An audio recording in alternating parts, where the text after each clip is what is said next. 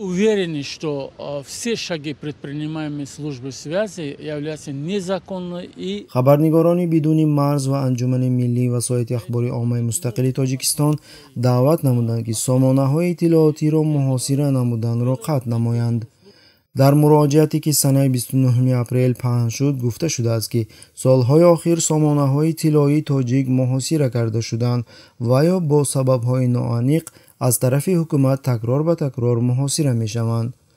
Қонунан исбот нашуда ва муҳосира намудани худсаронаи манбаъҳои иттилоӣ аз ҷониби хадамоти алоқаи тоҷикистон то ҳол идома дорад иброз намуд раиси анҷумани миллии васоити ахбории мустақили тоҷикистон нуриддин қаршибоев абсурдность абсурдность обстоятельств состоит в том что поскольку уполномоченный орган не может дать нам конкретный ответ за свои действия мы не можем обжаловать их действия или бездействия.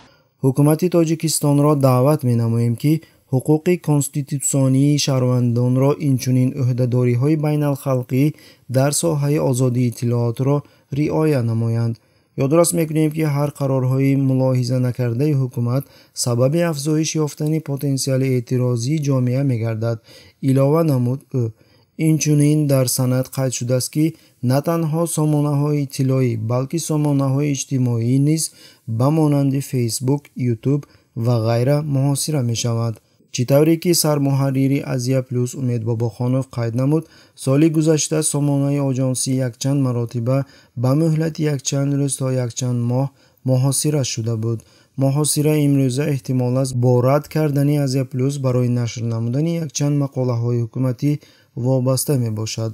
Қайд намуд бобохонов азия плюс высказывалась о том что да их их блокируют именно э, за то, что они не публикуют то, что им навязывают.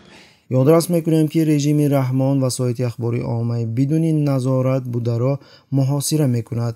Аз ҷумла онҳое ки дар вазорати адлия қайд шуданд дар хусуси шабакаҳо ва сомонаҳое ки мустақил ҳастанду аккредитатсияи расмӣ надоранд сухан нагӯем ҳам мешавад.